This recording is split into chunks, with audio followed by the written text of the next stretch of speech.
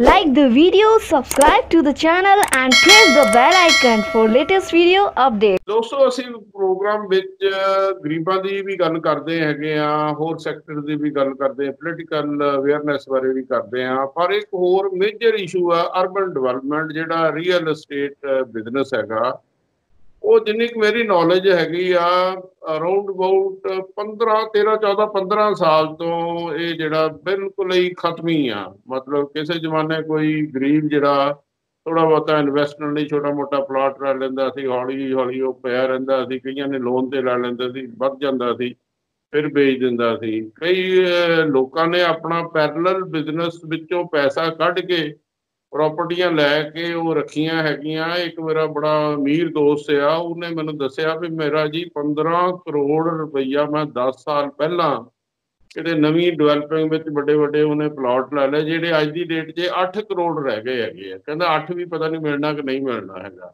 ਮਤਲਬ 7-8 ਸਾਲਾਂ ਵਿੱਚ ਉਹਦਾ 8 ਕਰੋੜ ਦਾ ਲਾਸ ਹੋਇਆ ਹੈਗਾ। ਇਹ ਹਾਲਾਂਕਿ ਕਿਸੇ ਜ਼ਮਾਨੇ ਬੜੀਆ ਵੱਡਾ ਇਹੋ ਥ੍ਰਾਈਵਿੰਗ ਬਿਜ਼ਨਸ ਹੁੰਦਾ ਸੀ। ਇਹ ਹੁਣ ਕਿਉਂ ਇਹਦੇ ਵਿੱਚ ਕਮੀ ਰਹਿ ਗਈ ਹੈਗੀ ਇਹ ਸਾਰੇ ਅਸੀਂ ਵਿਸ਼ਿਆਂ ਤੇ ਗੱਲਬਾਤ ਕਰਾਂਗੇ। ਸਾਡੇ ਨਾਲ ਨੇ ਸ਼੍ਰੀ ਹਰੀਸ਼ ਰਾਏ ਟਾਂਡਾ ਜੀ ਜੋ ਕਿ ਸਾਬਕਾ ਐਮਐਲਏ ਰਹੇ ਆ। ਸਾਬਕਾ ਚੇਅਰਮੈਨ ਨੇ Punjab and Haryana bar council ਤੇ ਮੌਜੂਦਾ ਮੈਂਬਰ ਹੈਗੇ ਆ। Punjab and Haryana bar council ਤੇ ਬਹੁਤ ਸੁਲਝੇ ਸਿਆਸਤਦਾਨ ਹੈਗੇ ਆ। ਟਾਂਡਾ ਸਾਹਿਬ ਸਾਡੇ ਪ੍ਰੋਗਰਾਮ ਵਿੱਚ ਬਹੁਤ ਬਹੁਤ ਸਵਾਗਤ ਹੈ ਸਭ ਤੋਂ ਪਹਿਲਾਂ। ਪ੍ਰਕਾਸ਼ ਸਿੰਘ ਬਾਦਲ ਦੀ ਸਰਕਾਰ ਸੀ ਉਹਦੇ ਤੋਂ ਪਹਿਲਾਂ, ਜਦੋਂ ਪਹਿਲਾਂ ਸਰਕਾਰ ਸੀ ਕੈਪਟਨ ਅਮਰਿੰਦਰ ਦੀ, ਉਦੋਂ ਤੱਕ ਇਹ ਬਿਜ਼ਨਸ ਠੀਕ ਚੱਲੇ ਜਦੋਂ ਆਪਣੇ ਸਰਕਾਰ ਬਾਦਲ ਸਾਹਿਬ ਦੀ ਆਈ, ਉਦੋਂ ਤਾਂ ਇਹਨਾਂ ਨੇ ਕੋਲੋਨਾਈਜ਼ਰ ਨੂੰ ਬਣਾ ਕੇ ਕਿਹਾ ਜੀ, ਆ ਜੀ, ਇਸ ਤਰ੍ਹਾਂ ਕਰਾਂਗੇ, ਇਸ ਤਰ੍ਹਾਂ ਕਰਾਂਗੇ, ਜਿਹਦੇ ਤੋਂ ਕਰਦੇ ਕਰਦੇ ਹੌਲੀ ਹੌਲੀ ਹੌਲੀ ਥੱਲੇ ਥੱਲੇ ਥੱਲੇ ਆਉਂਦਾ ਬਿਜ਼ਨਸ ਸ਼ੁਰੂ ਹੋ ਗਿਆ। ਇਹਦੇ ਬਾਰੇ ਕੀ ਕਹਿਣਾ ਚਾਹੁੰਦੇ? ਤੁਹਾਡੀ ਨੌਲੇਜ ਕਿੰਨਾ ਕਿ ਇਹਦੇ ਬਾਰੇ ਹੈਗੀ? ਦੇਖੋ ਜੀ, ਦੋ ਐਸਪੈਕਟ ਹੈ। ਮਨੋਜ ਜੀ ਪਹਿਲਾਂ ਤਾਂ ਰੀਅਲ ਏਸਟੇਟ ਦੀ ਵੈਲਿਊ ਕਿਉਂ ਡਾਊਨ ਗਈ ਹੈ? ਉਹ ਤਾਂ ਗਲੋਬਲ ਕ੍ਰਾਈਸਿਸ ਹੈ। ਉਹਨੂੰ ਕੋਈ ਨਹੀਂ ਕੋਈ ਨਹੀਂ ਰੋਕ ਸਕਦਾ। ਜੀ ਜੀ। ਅੱਗੇ ਲੋਕਾਂ ਨੂੰ ਭਰਮ ਸੀਗਾ ਪਤਾ ਨਹੀਂ ਕਾਂਗਰਸ ਦੀ ਸਰਕਾਰ ਆਂਦੀ ਹੈ ਤਾਂ ਭਾਅ ਵੱਧ ਜਾਂਦੇ ਆ ਅਕਾਲੀ ਦਲ ਦੀ ਸਰਕਾਰ ਆਂਦੀ ਹੈ ਭਾਅ ਘਟ ਜਾਂਦੇ ਉਹ ਸਾਈਕਲ ਸੀਗੇ ਗਲੋਬਲ ਕ੍ਰਾਈਸਿਸ ਦੇ। ਹੁਣ ਪਿਛਲੇ 15 ਸਾਲ ਦੇ ਹਿਊਜ ਗਲੋਬਲ ਕ੍ਰਾਈਸਿਸ ਹੈ ਜਿਹਦੇ ਚ ਰੀਅਲ ਏਸਟੇਟ ਚ ਫਾਲ ਆਈ ਹੈ। 40% ਫਾਲ ਆਮ ਹੈ ਇਨ ਕਮਰਸ਼ੀਅਲ ਪ੍ਰਾਪਰਟੀਆਂ ਐਂਡ ਜਿਹੜੇ ਰੈਜ਼ੀਡੈਂਸ਼ੀਅਲ ਅਨਪਲੈਨਡ ਕਾਲੋਨੀਜ਼ ਉਹਨਾਂ ਤਾਂ 70 70% ਵੀ ਫਾਲ ਹਾਂਜੀ। ਐਂਡ ਆ ਕਰੋਨਾ ਨੇ ਹੋਰ ਵੱਡੀ ਕ੍ਰਾਈਸਿਸ ਦੇਣੀ ਰੀਅਲ ਹਾਂਜੀ ਹਾਂਜੀ। ਇਹ ਤਾਂ ਹੈਗਾ ਇੱਕ ਪਹਿਲੂ। ਹਾਂਜੀ। ਦੂਸਰਾ ਪਹਿਲੂ ਹੈ ਜਿਹੜਾ ਪੰਜਾਬ ਸੈਂਟਰਿਕ ਹੈ।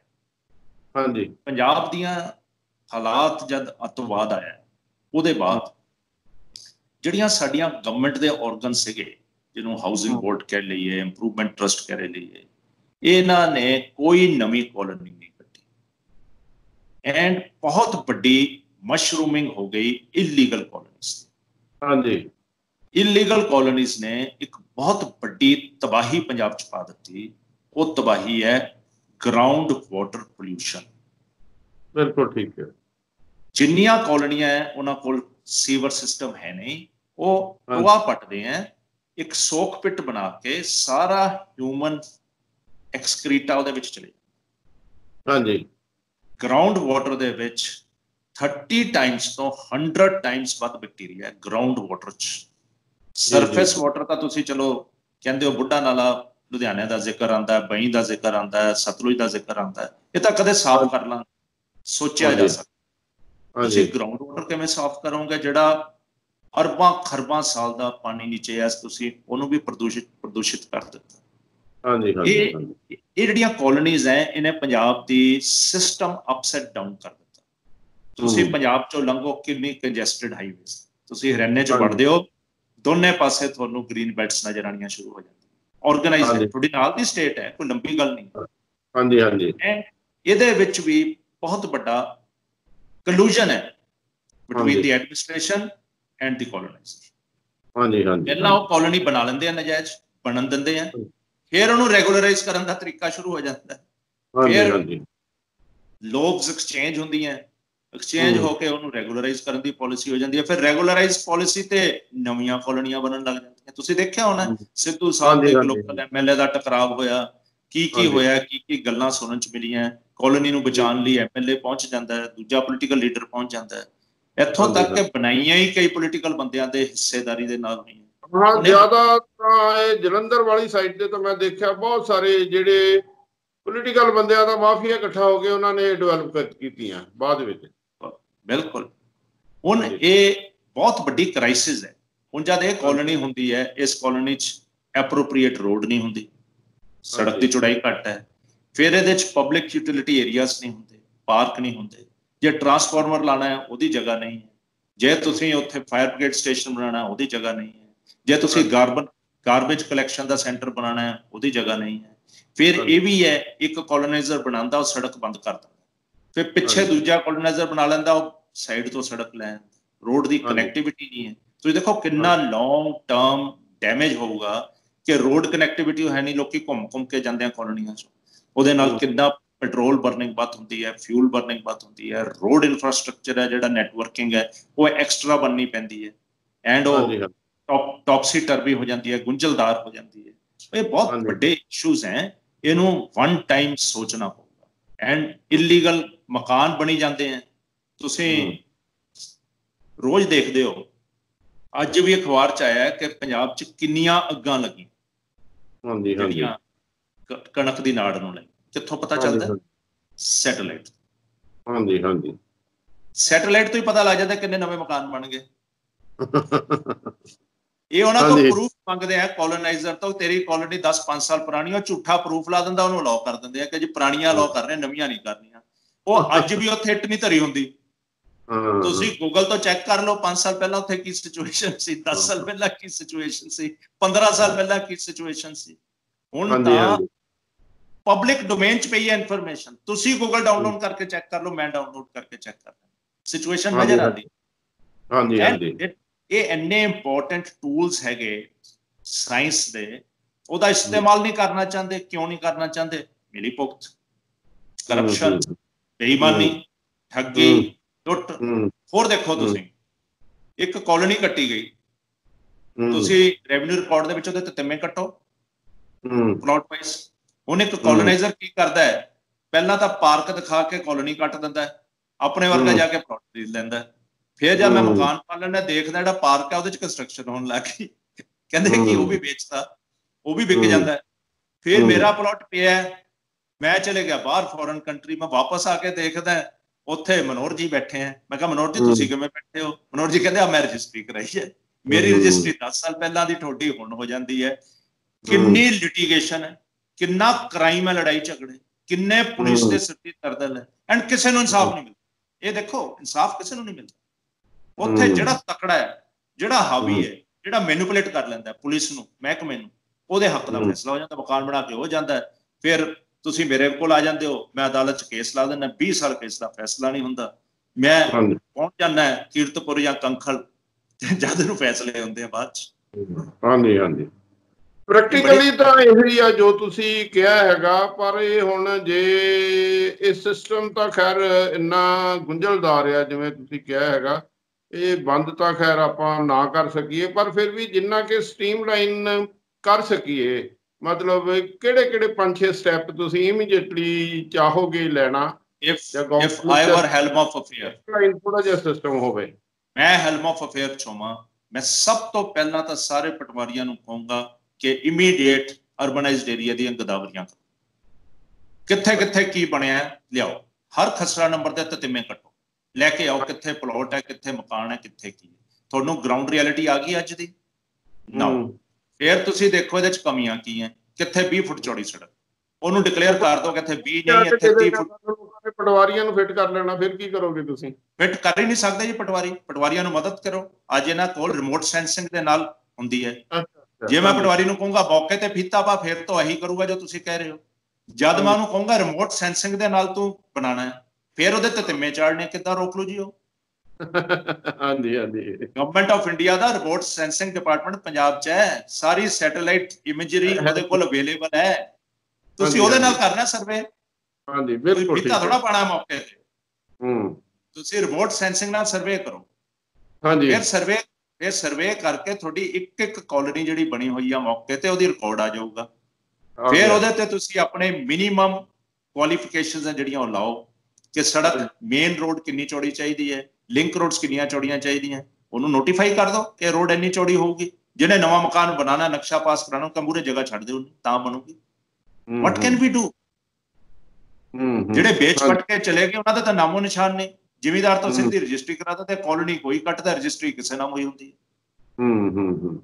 ਉਹਨੇ ਤਾਂ ਸਿਸਟਮ ਵਿੱਚ ਡਾਕਟਰ ਸਾਹਿਬ ਮੈਂ ਦੇਖਿਆ ਹੈਗਾ ਉਹਨਾਂ ਦੀ ਕੰਟਰੀਆਂ ਦਾ ਮਤਲਬ ਬੇਸਿਕ ਜਿਹੜਾ ਇਨਫਰਾਸਟ੍ਰਕਚਰ ਪਲਾਨ ਜਿਹੜਾ ਬਣਿਆ ਹੈਗਾ। ਜਿਵੇਂ ਪੰਜਾਬ ਦਾ ਅਸੀਂ ਇਹ ਨਹੀਂ ਬਣਾ ਸਕਦੇ ਪਿੰਡਾਂ ਦਾ ਸ਼ਹਿਰਾਂ ਦਾ ਇਹ ਕਿੱਧਰ ਨੂੰ ਡਿਵੈਲਪਮੈਂਟ ਹੋਣੀ ਕਿੱਦਾਂ ਦੀ ਇੱਕ ਮਾਸਟਰ ਪਲਾਨ ਬਣਿਆ ਹੋਵੇ ਜਿਹਨੇ ਵੀ ਕਰਨਾ ਉਹਦੇ ਵਿੱਚ ਸੜਕਾਂ ਸੁੜਕਾਂ ਦੀ ਸਾਰਾ ਜੋ ਜਿਵੇਂ ਤੁਸੀਂ ਕਿਹਾ ਹੈਗਾ ਰਿਕੁਇਜ਼ਿਟ ਜੋ ਬ੍ਰੈਡਥ ਲੈਂਥ ਵਗੈਰਾ ਹੋਵੇ ਜਿਹਨੇ ਬਣਾਉਣਾ ਉਸ ਹਿਸਾਬ ਨਾਲ ਅੱਗੇ ਡਿਵੈਲਪਮੈਂਟ ਹੋਵੇ। Is it possible in Punjab basic rules ਤਾਂ ਸਾਡੇ ਵੀ ਹੈਗੇ। ਉਹਦੀ ਇਨਫ੍ਰਿੰਜਮੈਂਟ ਹੋ ਜਾਂਦੀ ਹੈ। ਹਾਂ। ਫੋਰਨ ਕੰਟਰੀ ਦੇ ਵਿੱਚ ਜਿਹੜੀ ਕਾਉਂਟੀ ਹੈ ਉਹਦੇ ਚ। ਇਲੈਕਟਿਡ ਰਿਪਰੈਜ਼ੈਂਟੇਟਿਵ ਹੈ। ਹਾਂਜੀ। ਜ਼ੋਰ ਲਾ ਲਓ ਨਜਾਇਜ਼ ਮਕਾਨ ਨਹੀਂ ਬਣਨ ਦਿੰਦਾ ਉੱਥੇ। ਹਾਂ ਕਦੀ ਪੋਸੀਬਲ ਹੀ ਨਹੀਂ ਹੈਗਾ ਹਾਂ। ਇੱਕ ਇੱਟ ਫਾਲਤੂ ਨਹੀਂ ਤੁਸੀਂ ਲਾ ਸਕਦੇ। ਹਾਂਜੀ ਐਂਡ ਉੱਥੇ ਪਟਵਾਰੀ ਨੂੰ ਬੁਲਾਉਣ ਦੀ ਲੋੜ ਨਹੀਂ ਹੁੰਦੀ। ਮੇਰੇ ਵਰਗਾ ਕਾਰ 'ਚ ਜਾਂਦਾ ਹੈ ਕੰਪਸ ਹਾਂ। ਖੋਲਦਾ ਹੈ ਮੈਨੂੰ ਹਾਂ। ਜਿਹੜਾ ਨੀਅਰੈਸਟ ਇਲੈਕਟ੍ਰੋਨਿਕ ਫੀਲਡ ਆ ਲੱਭ ਜਾਂਦੀ ਹੈ। ਮੈਂ ਉਹਨੂੰ ਹੁੱਕ ਕਰ ਦਿੰਦਾ ਇਲੈਕਟ੍ਰੋਨਿਕ ਫੀਲਡ ਨੂੰ ਉੱਥੇ ਜਾ ਕੇ। ਮੈਂ ਪਲਾਟ ਤੇ ਖੜ ਜਾਣਾ ਉਹ ਦੱਸ ਦਿੰਦਾ ਇਹਦਾ ਕਿੰਨਾ ਅੱਗੇ ਆ ਕਿੰਨਾ ਪਿੱਛੇ। Any any common man can identify a property in every ਹਾਂਜੀ ਉੱਥੇ ਕੋਈ ਲੋੜ ਹੀ ਨਹੀਂ ਹੈ। ਅੱਛਾ ਹੋਰ ਕੀ ਹੈ? ਸਾਡੇ ਨਕਸ਼ੇ ਕਿਉਂ ਪਾਸ ਹੁੰਦੇ ਆ? ਬੰਦਾ। ਨਜਾਇਜ਼ ਹੈ ਤੇ ਨਕਸ਼ੇ ਪਾਸ ਹੁੰਦੇ ਆ। ਨਕਸ਼ੇ ਪਾਸ ਕਰਨੇ ਬੰਦ ਕਰ ਦਿਓ।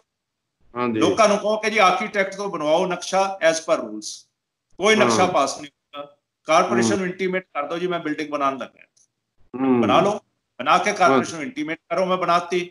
ਮੌਕੇ ਤੇ। ਜਾਵੇ ਬੰਦਾ ਦੇਖਿਆ ਵੇ ਨੇ ਐਸ ਪਰ ਬਾਈਲੋ ਹੈ ਕਿ ਨਹੀਂ। ਜੇ ਨਹੀਂ ਹੈਗੀ ਉਹਨੂੰ ਕਵੇ ਕਰੈਕਟ ਕਰ। ਜੇ ਹੈਗੀ। ਉਹਨੂੰ ਸਰਟੀਫਿਕੇਟ ਦੇਵੇ ਆਕੂਪੈਂਸੀ ਦਾ। ਉਹਦੇ ਬਾਅਦ। ਬਿਜਲੀ ਮਿਲੇ ਉਹਦੇ ਬਾਅਦ ਸੀਵਰ ਮਿਲੇ ਉਹਦੇ ਬਾਅਦ ਪਾਣੀ ਮਿਲੇ। ਪਰ ਆਪ ਨਕਸ਼ਾ ਪਾਸ ਕਰ ਦਿੰਦੇ ਆ। ਉਹਦੀ ਬਿਲਡਿੰਗ ਬਣਾਣੀ ਸ਼ੁਰੂ ਕਰ ਦਿੰਦਾ ਹੈ। ਆਂਟੀ ਗੁਆਂਢੀ ਕਹਿੰਦੇ ਹਾਂਜੀ ਨਕਸ਼ਾ ਪਾਸ ਹੈ। ਮੂਰੇ ਛੱਡਣਾ। ਹੁੰਦਾ 20 ਫੁੱਟ ਉਹ ਮੂਰੇ ਛੱਡਦਾ 10 ਫੁੱਟ। ਪਿੱਛੇ। ਛੱਡਣਾ ਹੁੰਦਾ 5 10 ਫੁੱਟ ਉਹ ਖੱਟ ਛੱਡਦਾ 0 ਹਮ, ਹਾਈਟ ਪਰਮਿਸਿਬਲ ਹੁੰਦੀ ਹੈ 20 ਫੁੱਟ ਉਹਨੇ 30 ਫੁੱਟ ਬਣਾਈ ਹੁੰਦੀ ਹੈ। ਬਣਾ ਕੇ। ਪਾਸੇ। ਇਸ ਤੁਸੀਂ ਜਿਹੜੇ ਲੀਨੀਅੰਸੀ ਦੇ ਸਿਸਟਮ ਹੈ ਨਾ ਕਿ ਜਿਹੜਾ ਬਣ ਗਿਆ ਬਣ ਗਿਆ। ਤੁਸੀਂ ਇਹ ਵੀ। ਛੱਡੋ। ਹਮ, ਜੀ ਅਸੀਂ ਸਿਸਟਮੈਟਿਕ ਜ਼ੋਨ ਚ ਹੈ ਪੰਜਾਬ ਚ ਓਵਰਡਿਊ ਹੈ ਅਰਥਕੁਏਕ ਜੇ ਹਮ। ਅਰਥਕੁਏਕ ਆ ਗਿਆ ਸਾਡੇ 90% ਸ਼ਹਿਰ ਨਹੀਂ ਬਚਨੇ। ਕਿਉਂਕਿ ਇੰਨੇ construct- ਕਰੋੜਡ ਆ ਮਤਲਬ ਘਰ ਬਣੇ ਹੋ ਸਾਡੇ ਜਿਹੜੇ। ਉਹਨਾਂ ਦੀ ਸ਼ਕਤੀ ਹੋਈ ਨਹੀਂ ਹੈ। ਸਾਡੇ ਜਿਹੜੇ ਏਰੀਆਜ਼ ਹੈ ਜਿਹੜੇ ਵੀਕਰ ਸੈਕਸ਼ਨ ਨੇ ਮਕਾਨ ਬਣਾਏ ਹੈ ਉਹ 2 ਫੁੱਟ ਦੀ ਨਿਉ ਚੱਕਦਾ ਹੈ। ਕੋਨੇ ਤੇ ਚਾਰ ਸਰੀਏ ਪਾਉਂਦਾ ਹੈ 4.5 ਇੰਚ ਦੀ ਕੰਧ ਚੱਕਦਾ ਹੈ। ਲੈਂਟਰ ਦੂਜਾ ਲੈਂਟਰ ਤੀਜਾ ਲੈਂਟਰ ਚੱਲ ਪਾਸੇ।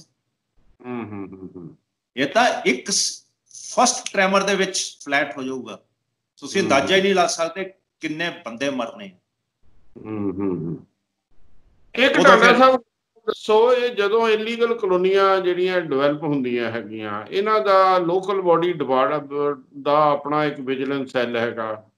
ਫਿਰ ਆ ਜਿਹੜੇ ਵਿਜੀਲੈਂਸ ਵਿੱਚ ਹਰ ਸਟੇਟ 'ਚ ਵੀ ਅਫਸਰ ਬੈਠੇ ਹੈਗੇ ਆ।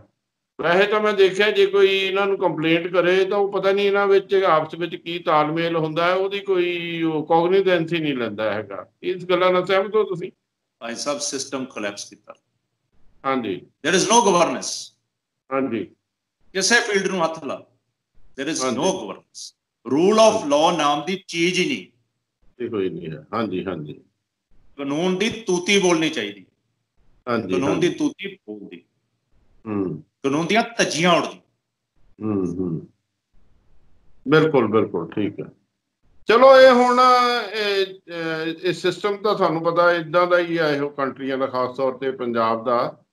ਤੇ ਜਦੋਂ ਤੋਂ ਇਹੋ ਮੋਦੀ ਸਾਹਿਬ ਨੇ ਨੋਟਬੰਦੀ ਕੀਤੀ ਹੈਗੀ ਆ, ਫਿਰ ਬਾਅਦ ਚ ਜੀਐਸਟੀ ਵੀ ਲੱਗ ਗਿਆ। ਇਹ ਕਿ ਵੀ ਆਮ ਤੌਰ ਤੇ ਜਿੰਨੇ ਕਿ ਇਹੋ ਲੋਕੀ ਬਿਜ਼ਨਸਮੈਨ ਜਿਨ੍ਹਾਂ ਨੇ ਇੱਧਰ ਇਨਵੈਸਟ ਕਰਨਾ ਹੁੰਦਾ ਸੀ ਉਹ ਕਹਿੰਦੇ ਸੀ ਵੀ ਉਹਦੇ ਨਾਲ ਕੈਸ਼ ਦਾ ਬੜਾ ਵੱਡਾ ਕਰੰਚ ਆ ਗਿਆ। ਇਹ ਵੀ ਇੱਕ ਫੈਕਟਰ ਰੀਅਲ ਏਸਟੇਟ ਮਾਰਕੀਟ ਨੂੰ ਹਿੱਟ ਕਰਨੇ ਦੇ ਹੈਗੇ ਆ ਤੁਹਾਡੇ ਹਿਸਾਬ ਨਾਲ? ਬਿਲਕੁਲ ਹੈਗੇ।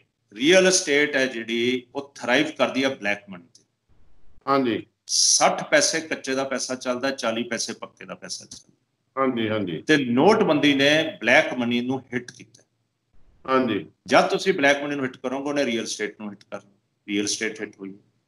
ਹੂੰ। ਐਂਡ ਜੀਐਸਟੀ ਰਜੀਮ ਹੈ ਜਿਹੜਾ ਇਹਦੇ ਵਿੱਚ ਵੀ 2 ਨੰਬਰ ਦੇ ਧੰਦੇ ਨੂੰ ਢਾਹ ਲੱਗੀ ਹੈ। ਖਤਮ। ਨਹੀਂ ਹੋਇਆ। ਹਾਂਜੀ। ਔਖਾ ਹੋ ਗਿਆ। ਔਖਾ ਹੋ ਗਿਆ। ਹਾਂਜੀ। ਕਰ ਤਾਂ ਹਲੇ ਵੀ ਰਹੇ। ਪਰ ਹਲੇ ਹਾਲਾਤ ਹੈ ਕਿ ਗਵਰਨਮੈਂਟ ਨੇ ਬਹੁਤ ਫਿਲਟਰਸ ਲਗਾਏ ਹੋਏ ਇੰਨੇ ਫਿਲਟਰ ਲੱਗੇ ਹੈ ਕਿ ਤੁਸੀਂ ਅੰਦਾਜ਼ਾ ਨਹੀਂ ਲਾ ਸਕਦੇ ਆਉਣ ਵਾਲੇ ਸਮੇਂ ਦੇ ਵਿੱਚ ਲੋਕਾਂ ਨੇ ਫੜੇ ਜਾਣਾ ਜਿਹਨੇ ਟ੍ਰਾਂਜੈਕਸ਼ਨ ਕਰ ਹਾਂਜੀ ਹਾਂਜੀ। ਉਹਦੇ ਚ ਬੈਂਕਾਂ ਤੋਂ ਮੂਵਮੈਂਟ ਪਤਾ ਲੱਗ ਜਾਣੀ ਹੈ ਉਹਨਾਂ ਦੀ ਬਿਲਿੰਗ ਤੋਂ ਮੂਵਮੈਂਟ ਪਤਾ ਲੱਗ ਜਾਣੀ ਹੈ। ਐਂਡ। ਇਹਦਾ ਇਹਦਾ ਅਸਰ ਹੋਰ ਹੋਣਾ real estate ultimately real estate ਪੱਕੇ ਦੇ ਵਿੱਚ ਆਊਗੀ ਫੇਰ ਗਰੋ ਕਰੂਗੀ। ਜਦ ਤੱਕ ਪੱਕੇ ਚ ਨਹੀਂ ਆਊਗੀ ਰੀਅਲ ਏਸਟੇਟ ਗਰੋ ਨਹੀਂ ਮੈਂ ਦੇਖਿਆ ਫੋਰਨ ਕੰਟਰੀ ਵਿੱਚ ਮੰਨ ਲਓ ਤੁਸੀਂ ਸਮਝੋ ਉਹਨਾਂ ਦੇ ਕੰਟਰੀ ਸਾਈਡ ਤੇ ਲੈਣਾ ਕੋਈ ਪਲਾਟ ਲੈਣਾ ਕੋਈ ਫਾਰਮ ਹਾਊਸ ਲੈਣਾ ਈਵਨ ਸ਼ਹਿਰ ਵਿੱਚ ਲੈਣਾ। ਉਹ ਜਿੰਨਾ ਉਹਦਾ ਹੈਗਾ ਉਹ ਸਾਰਾ ਵਾਈਟ ਵਿੱਚ ਮਤਲਬ ਉਹ ਉਹ ਜਾਂਦਾ ਹੈਗਾ ਸਾਡੇ ਇਹੋ ਜੇ ਉਹ ਮੰਨ ਲਓ ਜਿਸ ਇਲਾਕੇ 'ਚ ਮੈਂ ਰਹਿਣਾ ਹੈਗਾ ਇੱਥੇ ਜੇ ਰੇਟ ਹੈਗਾ ਮੰਨ ਲਓ 10 ਲੱਖ ਰੁਪਏ ਮਰਲਾ ਸਾਡੇ ਇਧਰ ਮਰਲਾ ਤੇ ਹੈਗਾ ਤੇ ਉਹ ਰਜਿਸਟਰੀ ਉਹਦੀ ਉਹ ਜਿਹੜੀ। ਹੈਗੀ ਆ ਕਰੈਕਟਰ ਵੈਲਿਊ ਬੜੀ ਥੋੜੀ ਜਿਹੀ ਹੈ ਤੁਹਾਨੂੰ ਪਤਾ ਹੀ ਹੈ ਬਾਕੀ। ਉਹ ਹੈਗਾ ਇਹ ਜਿਹੜਾ ਸਿੱਧਾ ਹੀ ਉਹ ਹਾਇਰ ਅਮਾਉਂਟ ਤੇ ਕਿਉਂ ਨਹੀਂ ਡੀਸੀ ਫਿਕਸ ਕਰ ਦਿੱਤਾ ਕਿ ਨੰਬਰ 2 ਵਾਲਾ ਪੈਸਾ ਤੁਸੀਂ ਉਹਦੇ ਵਿੱਚ ਐਡਜਸਟ ਹੀ ਨਾ ਹੋਵੇ? ਇਦਾਂ ਦੀ ਇਦਾਂ ਦੀ ਕੱਟੀ ਨਹੀਂ ਆਏ? ਸਰ ਪ੍ਰੋਪਰ ਸਰਵੇ ਅੱਛਾ ਜੀ। ਪ੍ਰੋਪਰ ਸਰਵੇ ਹੈ ਨਹੀਂ ਤੁਸੀਂ ਫੋਰਨ ਕੰਟਰੀ ਦੀਆਂ ਗੱਲਾਂ ਤਾਂ ਕਰ ਲਈਆਂ। ਫੋਰਨ ਕੰਟਰੀ ਦੇ ਵਿੱਚ ਤੁਸੀਂ ਤੱਕ ਹੀ ਨਹੀਂ ਕੱਢ ਸਕਦੇ ਨਵੀਂ। ਹਾਂਜੀ ਹਾਂਜੀ। ਜਿਹੜੀਆਂ ਲਿਸਟਡ ਬਿਲਡਿੰਗਾਂ ਉਹਨੂੰ ਤੁਸੀਂ ਉਂਗਲੀ ਨਹੀਂ ਲਾ ਸਕਦੇ। ਲਿਸਟਡ। ਟ੍ਰੇਸ ਨੂੰ ਉਂਗਲੀ ਲਾ। ਪਲਾਂਟ ਹੈ ਜਿਹੜੇ ਪੁਰਾਣੇ ਪੇੜ। ਉਹਨੂੰ ਤੁਸੀਂ ਟਾਣੀ ਨਹੀਂ ਕੱਟ ਸਕਦੇ ਉਹਦੇ ਤੇ ਤੁਸੀਂ। ਸਪਰੇਅ ਨਹੀਂ ਕਰ ਸਕਦੇ ਉਹ। ਕਾਉਂਟੀ ਵਾਲੇ ਆ ਕੇ ਸਪਰੇਅ ਕਰਦੇ ਆ ਉੱਥੇ ਜਿਹੜੀ ਖੇਤਾਂ ਦੀ ਜ਼ਮੀਨ ਹੈ ਉਹ ਤਿੰਨ ਕਿਸਮ ਦੀ ਜ਼ਮੀਨ ਹੈ ਇੱਕ ਜਿਹਦੇ ਚ ਫਸਲ ਹੁੰਦੀ ਹੈ ਇੱਕ ਜਿਹੜੀ ਗ੍ਰੇਜ਼ਿੰਗ ਹੁੰਦੀ ਹੈ ਇੱਕ ਜਿਹਦੇ ਚ। ਖੇ ਹੁੰਦੀ ਹੈ ਤੁਸੀਂ। ਉਹਨੂੰ ਬਦਲ ਨਹੀਂ ਸਕਦੇ ਉਹਦਾ ਕੰਟੂਰ ਨਹੀਂ ਬਦਲ ਸਕਦੇ ਉਹਨੂੰ। ਪੱਧਰ ਨਹੀਂ ਕਰ ਸਕਦੇ ਉੱਥੇ ਤਾਂ। ਬਹੁਤ ਸਟ੍ਰਿਕਟ ਲਾਜ਼ ਹੈ ਐਂਡ ਜੇ ਤੁਸੀਂ। ਜਿਹੜੀ ਗ੍ਰੇਜ਼ਿੰਗ ਹੈ ਉਹਦੇ ਵਿੱਚ ਪ੍ਰੋਪਰ ਗ੍ਰੇਜ਼ਿੰਗ ਦਾ ਘਾਹ ਨਾ ਲਾਇਆ ਹੋਵੇ ਤਾਂ ਉੱਥੇ ਦੀ ਸਟੇਟ ਆਂਦੀ ਹੈ ਉਹਦੇ ਤੇ ਨਵਾਂ ਘਾਹ ਲਾ ਜਾਂਦੀ ਹੈ ਤੁਹਾਨੂੰ ਬਿੱਲ ਫੜਾ ਜਾਂਦੀ ਹੈ ਆ ਚੱਕ ਬਿੱਲ ਹਾਂਜੀ ਬਿਲਕੁਲ ਠੀਕ ਹੈ ਠੀਕ ਹੈ ਹਾਂਜੀ ਹਾਂਜੀ। ਉੱਥੇ ਦੇ ਸਿਸਟਮਸ ਤੇ ਪਹੁੰਚਣ ਲਈ ਹਿੰਦੁਸਤਾਨ ਨੂੰ ਬਹੁਤ ਸਮਾਂ ਲੱਗੂ ਪਰ ਪਹੁੰਚਣਾ ਚਾਹੀਦਾ ਜਿੰਨੀ ਛੇਤੀ ਪਹੁੰਚਾਂਗੇ ਜੇ ਤੁਸੀਂ ਜਿਹੜੀ ਕਲੈਕਟਰ ਵੈਲਿਊ ਰੇਟ ਜ਼ਿਆਦਾ ਕਰਦੇ ਹੋ ਉਹਦੇ ਤੇ ਸਟਾਂਪ ਡਿਊਟੀ ਘੱਟ ਕਰ ਦਿਓ ਕੋਰਸਪੋਂਡਿੰਗਲੀ ਜਿਹੜਾ ਲਾ ਕੇ ਲੋਕਾਂ ਤੇ ਬਰਡਨ ਵੀ ਨਾ ਪਵੇ। Stamp ਇਹਨਾਂ ਬਲੈਕ ਮਨੀ ਸਟਾਂਪ ਡਿਊਟੀ ਘੱਟ ਕਰਨ ਦੀ ਲੋੜ ਹੀ ਨਹੀਂ ਫਿਕਸ ਹੀ ਕਰ ਦਿਓ। ਇਸ ਹਾਂ, ਏਰੀਆ ਦੇ ਵਿੱਚ fix ਕਰ ਦਿਓ। 50 ਰੁਪਏ। ਗਜ ਹੈ ਇਸ ਏਰੀਆ 'ਚ 100 ਰੁਪਏ ਗਜ ਹੈ ਇਸ ਏਰੀਆ 'ਚ 200 ਰੁਪਏ ਗਜ ਹੈ ਫਿਕਸ ਹੀ ਕਰ ਦਿਓ। ਇਸ। ਇਲਾਕੇ ਦੇ ਵਿੱਚ 2000 ਰੁਪਏ ਕਿੱਲਾ ਇੱਥੇ 5000 ਰੁਪਏ ਕਿੱਲਾ ਫਿਕਸ ਕਰ ਦਿਓ ਪਰ ਫਿਕਸ ਕਰਨੀ ਨਹੀਂ। ਫਿਕਸ ਕਰ ਦਿਓਗੇ ਤਾਂ ਸਬ ਰਜਿਸਟਰ ਦੀ ਇਨਕਮ ਖਤਮ ਹੋ ਜਾਊਗੀ। ਉਹ ਫਿਰ ਜਿਹੜਾ ਅੱਗੇ ਦੀ ਚੇਨ ਉਧਰ ਵੀ ਬ੍ਰੇਕ ਹੋ ਜਾਣੀ ਹੈ ਨਾ। ਡਿਸਕ੍ਰੀਸ਼ਨ ਜੇ ਖਤਮ ਕਰਤੀ ਤਾਂ ਸਾਡੀ ਲੁੱਟ ਬਦਲ ਹੋ ਜਾਊ ਡਿਸਕ੍ਰੀਸ਼ਨ ਤਾਂ ਰੱਖਣੀ ਰੱਖਣੀ ਹਰ ਕਾਨੂੰਨ 'ਚ। ਹਾਂ। ਉਹ ਉਹਦੇ ਨਾਲ ਹੀ ਤਾਂ ਫਿਰ ਜਗਾੜ ਚੱਲਦਾ ਹੈਗਾ ਨਾ ਸਾਡੇ ਉਹਦੇ ਨਾਲ ਹਾਂ ਇਹ ਤਾਂ ਹੀ ਤਾਂ ਕਿਹਾ ਸਿਸਟਮ ਬਦਲਣ ਲਈ ਡਿਸਕ੍ਰੀਸ਼ਨ ਖਤਮ ਕਰਨੀ ਪਊਗੀ ਫਿਰ ਖਤਮ ਹੋ ਜੂ ਸਾਰਾ ਕੁਝ ਅਖੀਰ ਵਿੱਚ ਤੁਸੀਂ ਐਜ਼ ਐ ਐਨਲਾਈਟਨਡ ਸਿਟੀਜ਼ਨ ਇਹ ਅਜੇ ਵੀ ਸਾਡੇ ਜਲੰਧਰ ਜਾਂ ਇਹ ਲੁਧਿਆਣਾ ਇੱਧਰ ਇੱਧਰ ਸ਼ਹਿਰਾਂ 'ਚ ਆਉਂਦਾ ਹੈ ਪਲਾਟ ਮੇਰਾ ਆ। ਕੋਈ ਤੁਹਾਡੇ ਵਰਗਾ ਇਨਫਲੂਐਂਸ਼ੀਅਲ ਬੰਦਾ ਧੱਕੇ ਨਾਲ ਕੋਈ ਉਹਨਾਂ ਨੇ ਆਪਣੀ ਉਹ ਇਲੀਗਲ ਮੰਡਲੀ ਬਣਾਈ ਹੋ ਹੈਗੀ ਆ ਉਹ ਲੈ ਕੇ ਰਜਿਸਟਰੀ ਵੀ ਕਰਾਣਾ ਕਈ ਵਾਰ ਤਾਂ ਜ਼ਬਰਦਸਤੀ ਕਬਜ਼ਾ ਕਰ ਜਾਂਦਾ ਹੈ। ਇਹਨਾਂ ਦੇ ਮਾਮਲਿਆਂ ਤੇ ਸਿਟੀਜ਼ਨ ਅਲਰਟ ਰਹਿਣ ਉਹਨਾਂ ਨੂੰ ਕੋਈ ਜ਼ਰੂਰ ਕੋਈ ਜਾਂਦੇ ਜਾਂਦੇ ਮੈਸੇਜ ਦਿਓ। ਸਿਟੀਜ਼ਨ ਵਿਚਾਰਾ ਕੀ ਅਲਰਟ ਰਹੂਗਾ? ਸਿਟੀਜ਼ਨ ਵਿਚਾਰਾ ਭੋਲਾ ਭਾਰਾ ਸੋਚਦਾ ਮੇਰਾ ਪਲਾਟ ਹੈ ਕਾਗਜ਼ ਮੇਰੇ ਕੋਲ ਹੈ ਲੋਕਰ 'ਚ ਰੱਖੇ ਹੁੰਦੇ ਆ। ਉਹ ਜਦ 2 ਸਾਲ ਬਾਅਦ ਦੇ 2 ਸਾਲ ਬਾਅਦ ਦੇਖਣ ਜਾਂਦਾ ਹੈ ਕਿ ਦੇਖਿਆ ਮੈਂ ਉੱਥੇ ਦੇਖਦਾ ਇੱਥੇ ਤਾਂ ਮਕਾਨ ਬਣਿਆ ਹੋਇਆ। ਫਿਰ ਉਹ ਫਿਰ ਉਹ ਥਾਣੇ ਜਾਂਦਾ ਹੈ।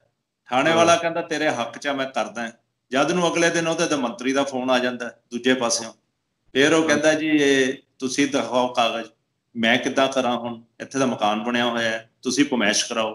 ਫਿਰ ਉਹ ਪਟਵਾਰੀ ਕੋਲ ਜਾਂਦੇ ਆ ਪਟਵਾਰੀ ਕਹਿੰਦਾ ਇਸ ਪਲਾਟ ਦੀ ਨਿਸ਼ਾਨਦੀ ਹੋ ਨਹੀਂ ਸਕਦੀ, ਕਿਉਂਕਿ ਇਹਦਾ ਤਾਂ ਤਿੰਮਾ ਨਹੀਂ ਕੱਟਿਆ ਹੋਇਆ। ਫਿਰ ਉਹ ਆਖਰਕਾਰ ਅਦਾਲਤ 'ਚ ਚਲੇ ਜਾਂਦੇ। ਤੇ ਅਦਾਲਤ 'ਚ ਕੇਸ ਵੀ ਸੱਚ ਆਉਂਦਾ ਹਮ।